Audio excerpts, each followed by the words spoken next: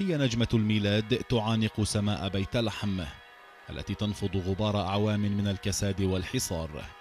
بانتظار الحجيج والمحتفلين فتأخر الاستعدادات للعيد هذا العام يعزوه القائمون على الاحتفالات لأسباب الحرب الأخيرة على غزة والضائقة المالية التي تمر بها الحكومة الفلسطينية. من الأساس كنا نفكر هل راح يكون في احتفالات؟ لأنه أخوتنا في غزة والحرب آه، اللي اللي كانت على غزة.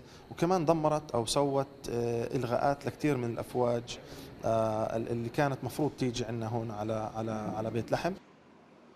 فتسجيل كنيسة المهد على قائمة اليونسكو للتراث الإنساني هذا العام إضافة لقبول فلسطين دولة بصفة مراقب في الأمم المتحدة.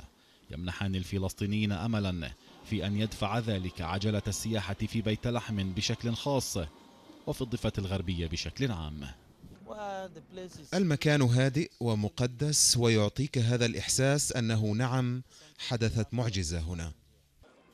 فبيت لحم تشكل نموذجا للتآخي الإسلامي المسيحي بالنسبة للفلسطينيين.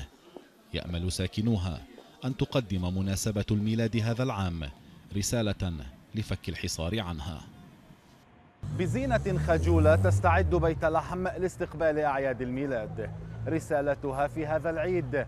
أن افتحوا الأبواب أمام السياحة علها تعيد شريان الحياة لاقتصادها.